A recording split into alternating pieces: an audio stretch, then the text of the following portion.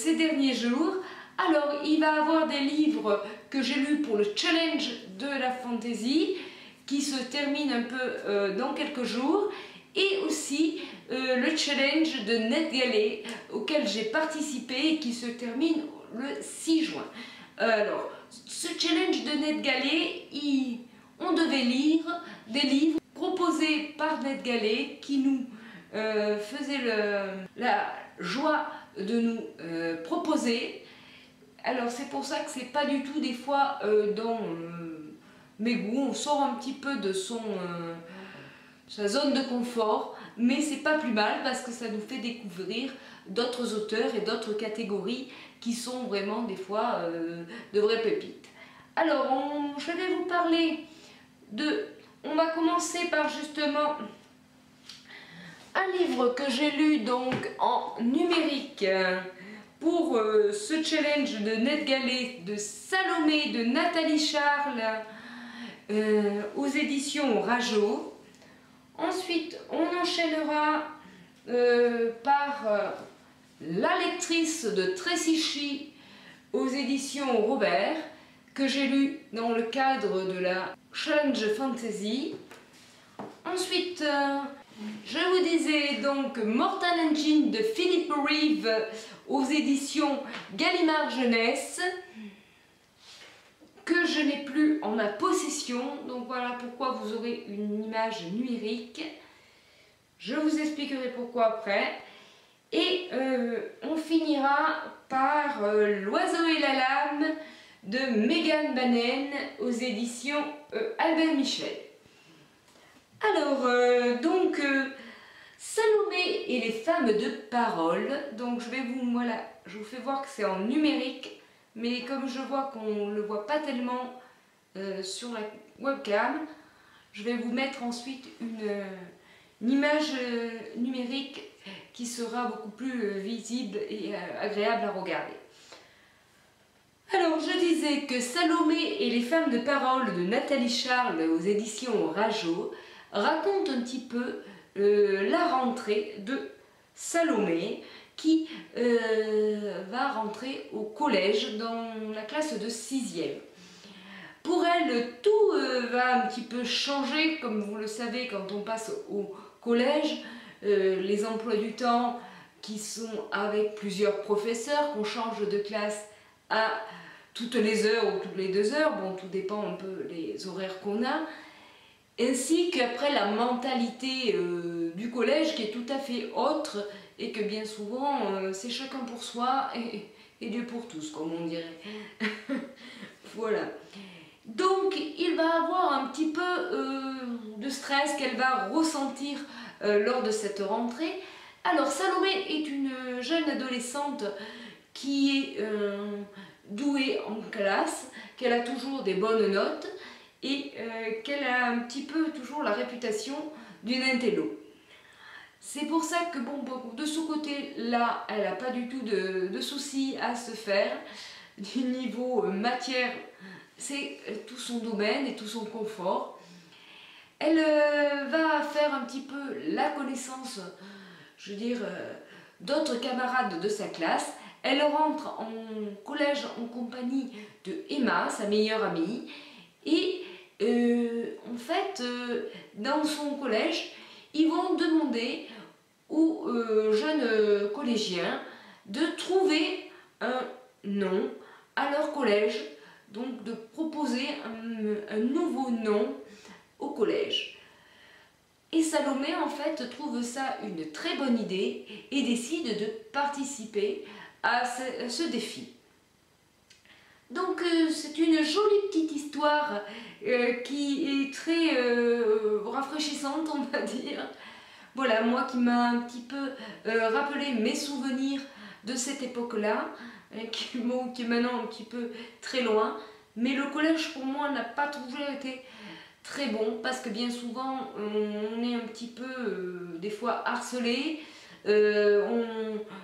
Il y a un petit peu des moqueries qui se provoquent. Donc c'est ce que aussi Salomé va rencontrer car elle va avoir Capucine qui est sa rivale euh, qui va un petit peu lui je dirais pas lui faire vivre un enfer, mais euh, je dirais qu'elle va un peu la l'embêter euh, parce que il y a toujours cette rivalité et bien entendu euh, celle qui est toujours douée, elles aiment bien être seules et Capucine est une jeune fille qui aime bien être, comme on dit, la reine du bal.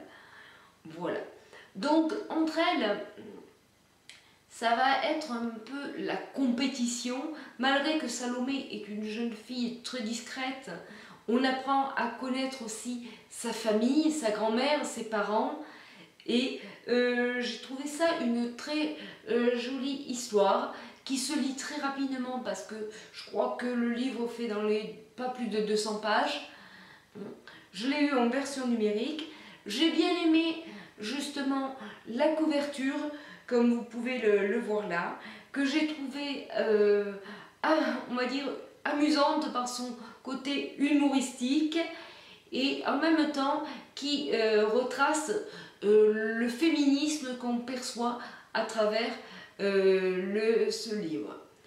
Donc c'est un livre bien entendu jeunesse, il ne faut pas s'attendre à retrouver de l'adulte là-dedans, mais qui se lit d'une façon très agréable et euh, où on se remémore un petit peu euh, les premiers euh, jours de l'adolescence et quand on passe au collège que tout change dans sa vie. Donc Salomé ne va pas du tout... tout va en fait pas se passer comme elle le pensait au départ. Voilà.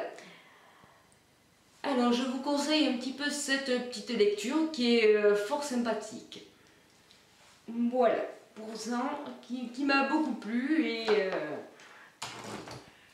qui m'a permis de découvrir euh, l'auteur Nathalie Charles. Alors ensuite, je vous avais parlé de la lectrice de Tracy Charles, de Tracy Charles, moi, oulala, ça va plus. Alors, on va parler maintenant de La lectrice de Tracy aux éditions Robert. C'est un livre que j'ai beaucoup entendu parler et que comme ça a été beaucoup de coups de cœur avec sa euh, couverture qui, est très originale et qui sort un petit peu du commun, qui me donnait envie de lire et de découvrir cette histoire. Alors dans cette histoire que j'ai lue en lecture commune avec Mode de la chaîne, un livre, une fille,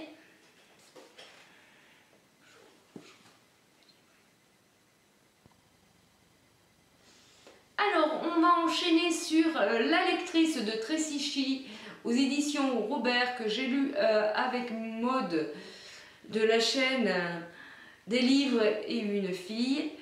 Alors, ça a été un peu une des lectures que j'ai lues par conseil, mais ce livre, j'ai eu assez du mal à me mettre dans cet univers, à comprendre un peu l'univers.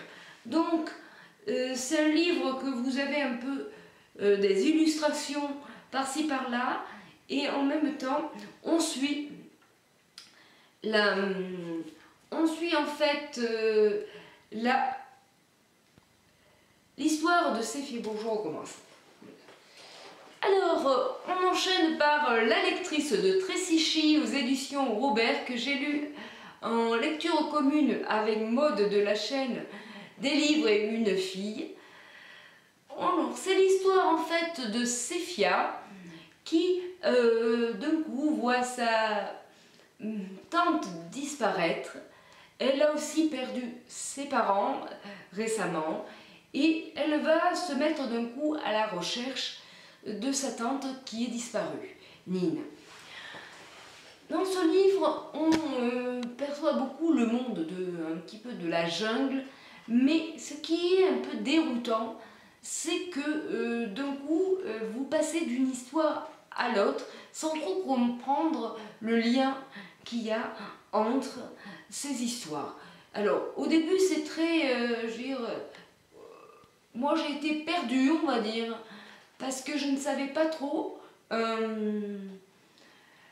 est-ce que ça avait un lien ou est-ce que c'est trois histoires différentes Voilà, trop penser. J'avais un avis assez mitigé. Euh, et on a été un petit peu... Euh, je vois, quand euh, on a fait cette lecture commune ensemble, on a éprouvé un peu tous, puisqu'on était trois, il y avait aussi Ludo, tous les trois, on, on a pensé un petit peu la même chose. Alors, c'est cette histoire de Séphia, j'ai trouvé ça un petit peu euh, fouillis, brouillon. Voilà ce que j'emploierais, parce que tout part euh, dans tous les sens. Et en fait, il y a trois histoires. Donc en fait, on suit d'un côté Séphia, on suit d'un côté l'histoire d'un capitaine Reed, pour vous dire, vous expliquer un petit peu, et à un autre moment, après, on suit euh, Long et son assistante là. Alors, je vous en dis pas plus trop par rapport à ça. Il y a aussi euh, d'un coup euh, va mettre la main sur un trésor que ses parents euh, gardaient secret et va trouver un livre que dans ce monde est gardé comme un trésor. Car très peu de personnes savent lire. Et lire n'est pas en fait quelque chose qu'il faut faire voir parce que, bon, j'ai pas trop compris pourquoi, mais je peux pas vous en dire plus. Voilà, pas, tous les, pas tout le monde sait lire et les personnes qui savent lire gardent plutôt ça secret. Alors, du coup, euh, va euh, emporter dans son aventure avec elle lors de ce qu'elle va partir à la recherche euh, de sa tante Nine son livre et elle va se mettre un petit peu à lire ce livre. Ça fait qu'on va avoir une histoire dans le livre, un livre dans le livre. Voilà. Qu'on va un petit peu suivre une histoire un peu de pirate euh, dans ce livre que c'est plus cette histoire-là, moi je vois qui m'a plu, euh, que euh, l'histoire de Sifia en elle-même.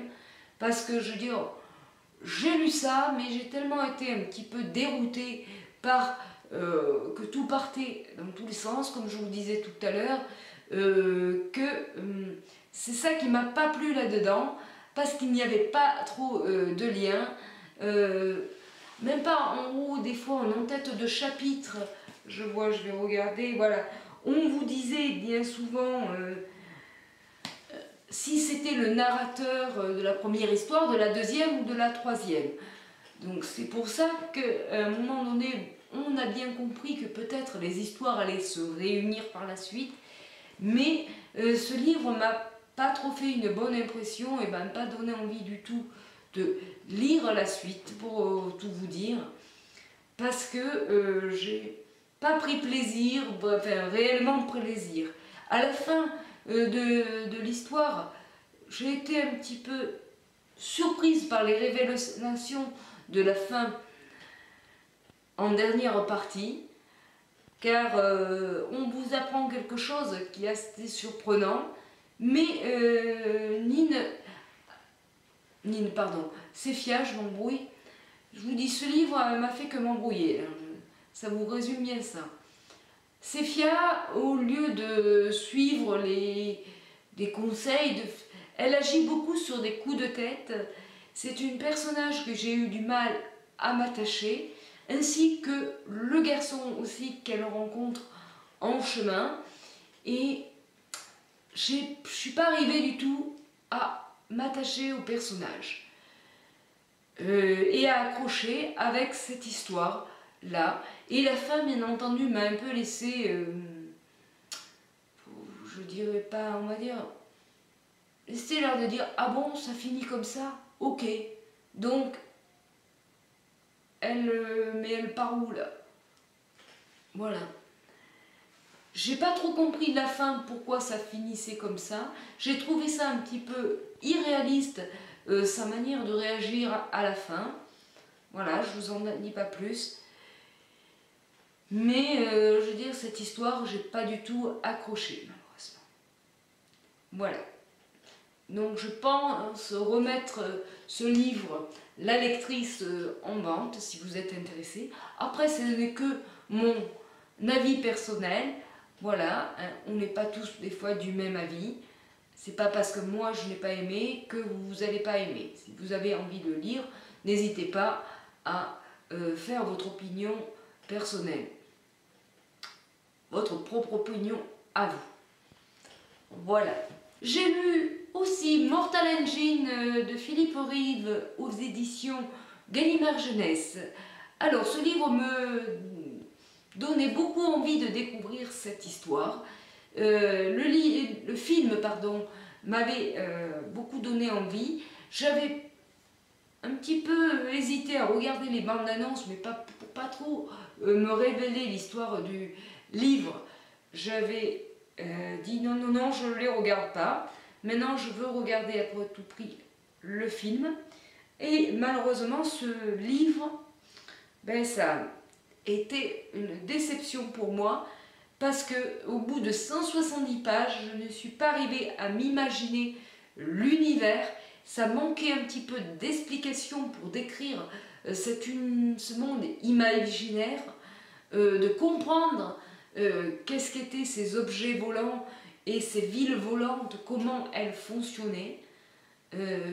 D'un coup, il arrive cet Echter avec ces deux personnages qui se retrouvent euh, en fuite ensemble, euh, quand Esther, elle tombe là de je ne sais où, de je ne sais comment. Euh, j'ai trouvé que ça manquait de détails, de descriptifs. Et au bout de 170 pages, je vous dis, j'ai pas eu envie du tout de continuer et j'ai abandonné cette lecture.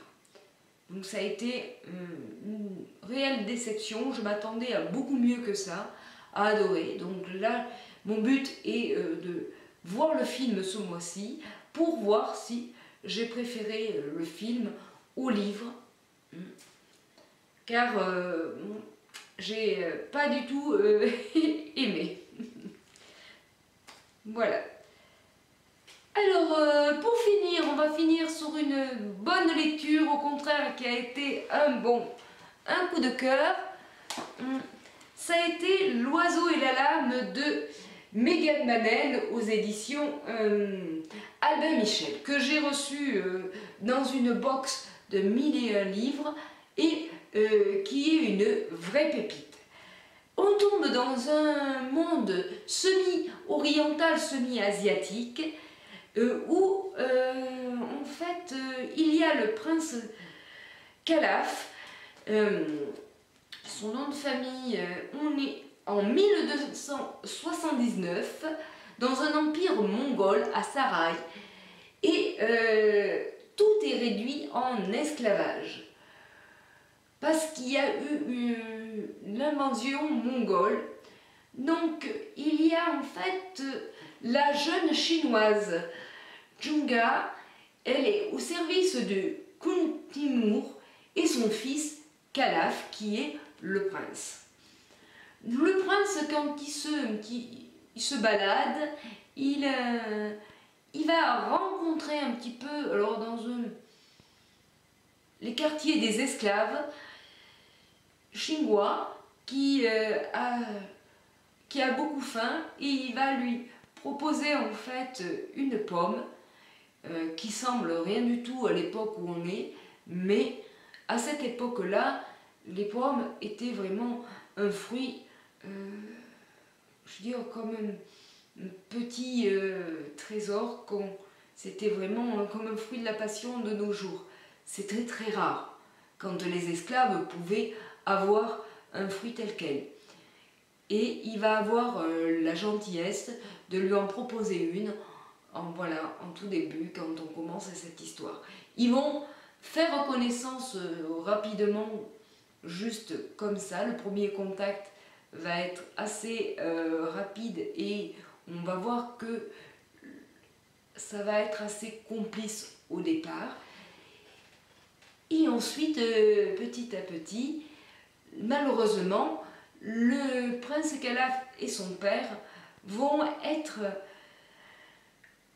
à cause des raisons politiques, devoir quitter leur cité, leur palais, pour sauver leur vie et leur peuple, car le palais est menacé d'une attaque des ennemis.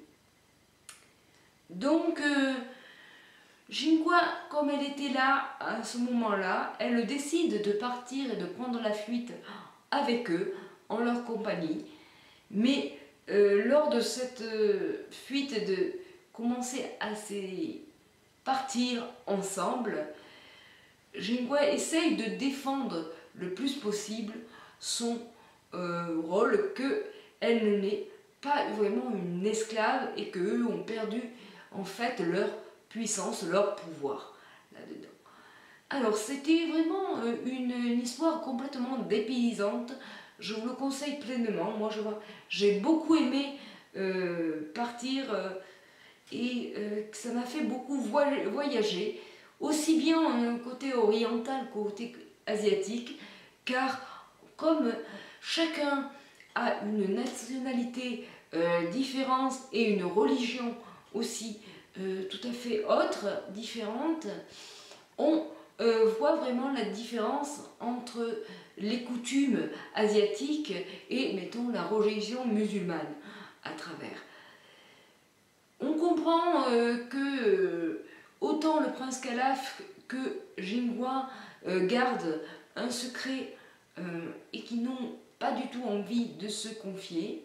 Il y a un petit peu aussi ce côté en fait que euh, Jinghua a qu'une seule envie, c'est de retrouver euh, sa liberté, euh, de crier haut et fort, libérer et délivrer, comme on dit, libérer, délivrer, parce que et le prince Calaf, petit à petit, ils fuient, ils essayent d'atteindre la ville d'après pour ensuite retrouver des alliés et contrer un petit peu euh, pour essayer d'arriver à retrouver leur terre et retrouver surtout euh, leurs euh, alliés.